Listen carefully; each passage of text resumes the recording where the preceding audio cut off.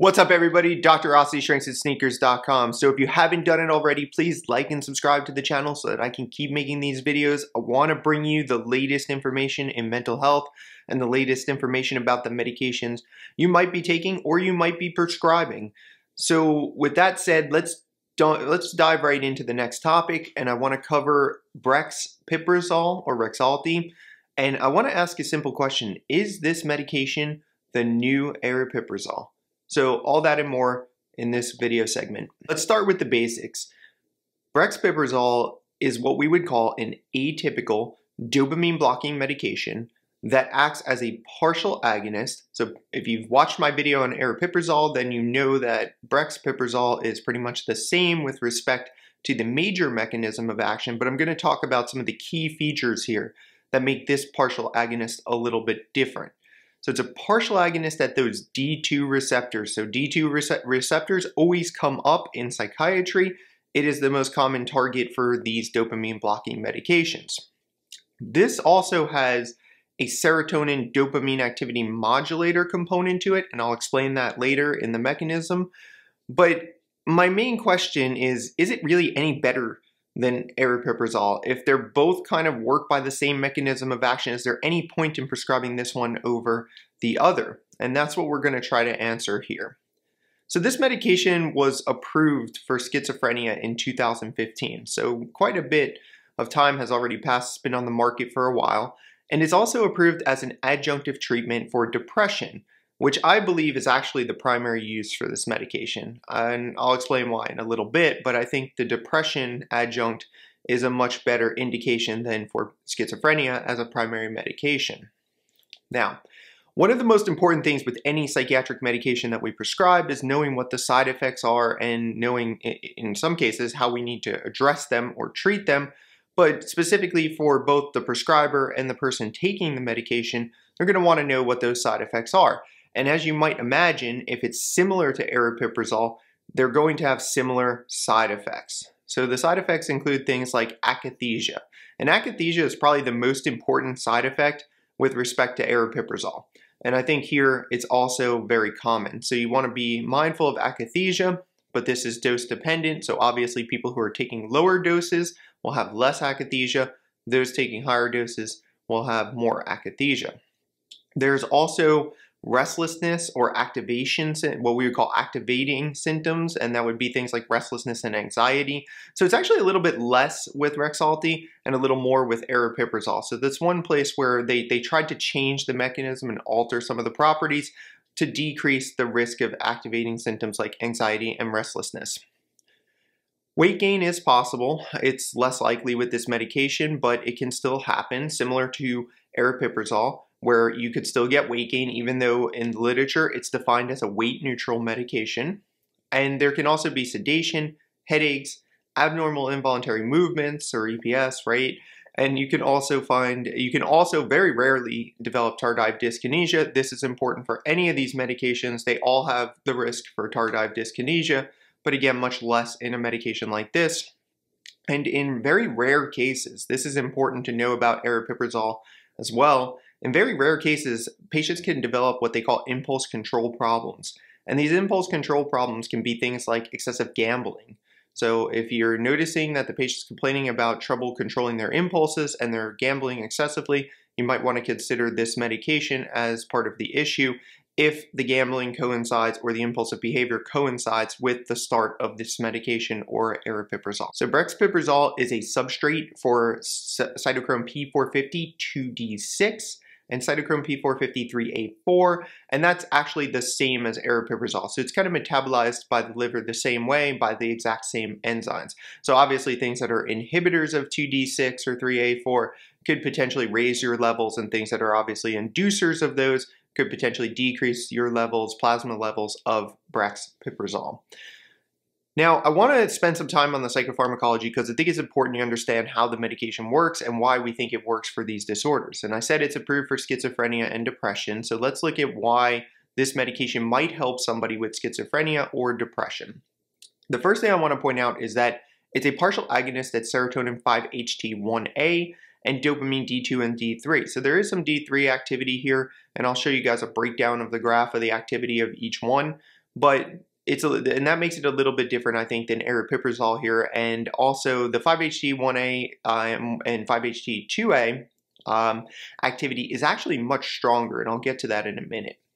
So it's a partial agonist. Mean, I've explained this in the in the previous videos regarding aripiprazole. Partial agonist basically means that it can act as a blocker in some cases, and it can act as a stimulator of these receptors in other cases. So what happens with the partial agonist is they have both blocking and stimulating properties, which is why we think this works, you know, again, in things like depression and not just schizophrenia. And that's why we think of this more as a dopamine modulating medication, because again, it's modulating the activity at those dopamine receptors, not necessarily, you know, fully blocking and or activating.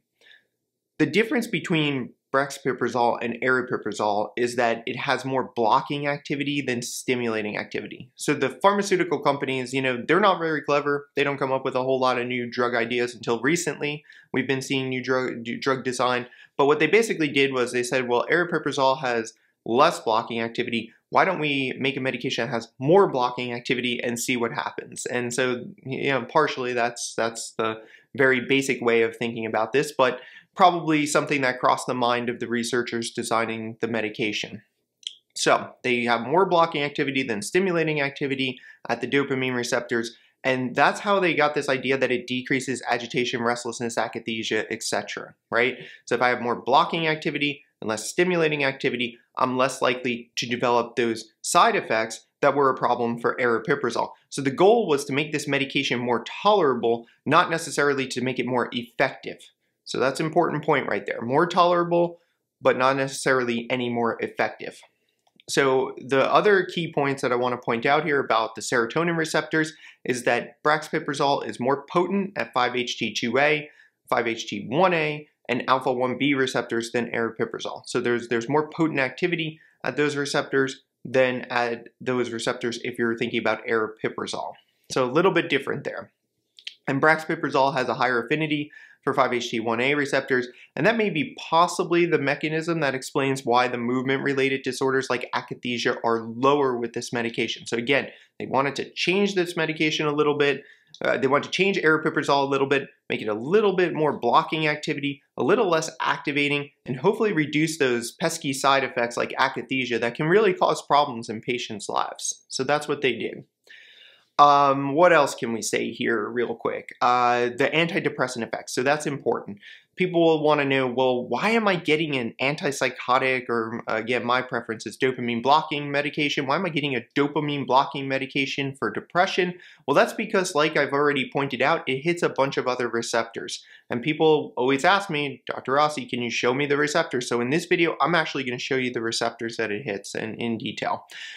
But um, basically, it also is going to affect and act as an antagonist at serotonin 5-HT2A, which I've already said, 2B, and 5-HT7. And 5-HT7 is a common um, antagonist uh, site where you do get antidepressant effects, and that's seen in other atypical medications as well. That's seen in other dopamine blocking medications. So it's a common mechanism to provide some antidepressant effects. And that's what we think theoretically the antidepressant effects come from.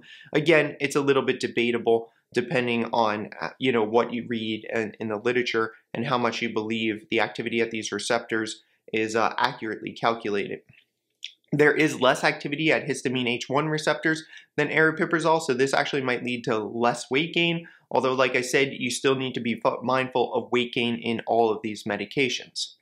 And another important point here, as far as mechanism goes and approvals go, please note, it is not approved for bipolar disorder or acute mania the way aripiprazole is. So this is an important difference. So in many cases, people ask me to point out the additional receptors that these drugs are going to target, and a lot of times I focus on the primary ones that are most important in the mechanism of action, and the ones that we believe either cause the benefit and or side effects of the medication and I don't have time to talk about all the minor stimulation or blocking activity that's going on at the various other receptors. But for completeness, I'm going to show you this example. It's going to break down every receptor that's involved with this medication's activity. Uh, the ones that I've already pointed out are the ones I'm going to focus on. Of course, the 5-HT1A, the 5-HT2A and 2B, as well as the 5-HT7, the dopamine D3, as well as D2 activity, And then we talked about histamine being lower in this medication as well as um, as alpha receptors. So we were talking about alpha receptors a little bit, although that's not really that important.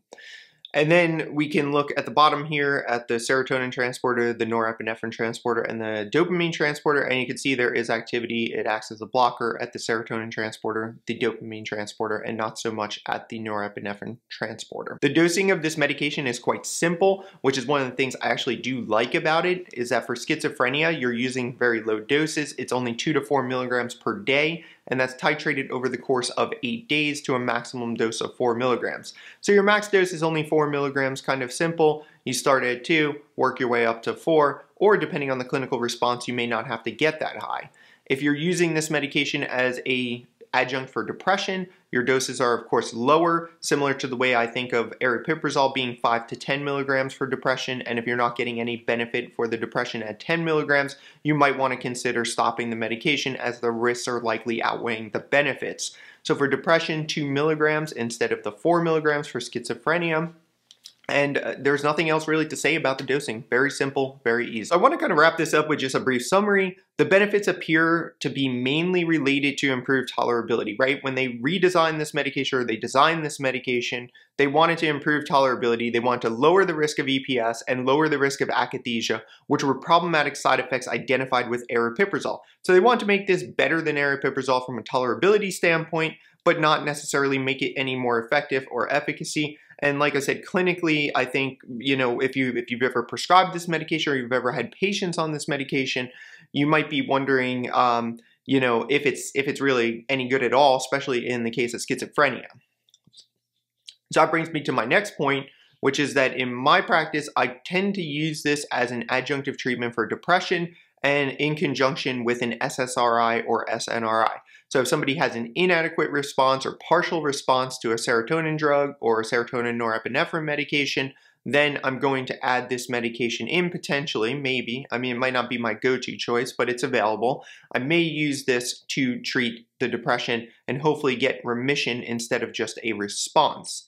I believe the efficacy in this medication, schizophrenia, is limited, and that's based on my own clinical experience. Um, the research will obviously tell you it's FDA approved and does improve schizophrenia, but again, aripiprazole, in my opinion, as well as uh, brexpiprazole here, or brexpiprazole, you will see less clinical response, and that's just based on my own clinical experience working with the medication.